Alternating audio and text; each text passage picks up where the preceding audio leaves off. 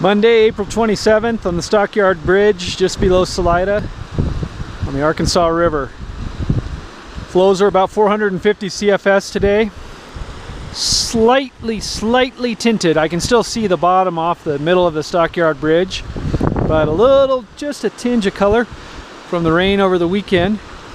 We don't anticipate anything uh, much more happening to the water quality here over the next few days as we transition from cool, damp spring weather to warm, clear, sunny spring weather.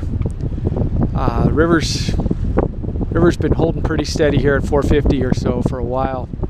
We got blue wing olive mayflies that are active on these kinds of cloudy days, and crane flies hatching, and caddisflies uh, spread over a wide range, pretty much the whole length of Bighorn Sheep Canyon now. Uh, a little more dispersed than we normally see, but definitely stronger hatches on the in the upper end of the canyon than we've seen in several years.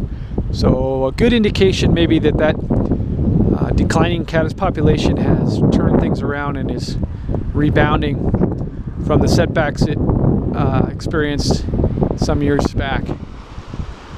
The weather's going to be warming up here as we move into the latter part of the week and the weekend. Highs in the 70s should warm the river very well up through the Big Bend area and potentially into Browns Canyon, uh, further expanding the area of active Brachycentrus caddis and giving us even more dry fly opportunities.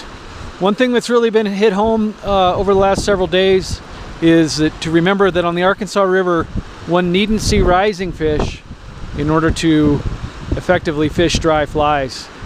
Uh, a lot of fish have one eye towards the surface given all the hatch activity we've had and will come up even if they aren't actively rising on naturally emerging bugs. We'll keep you posted uh, as the week goes on, but things are definitely lining up well for a good latter part of this week and weekend, first weekend of May.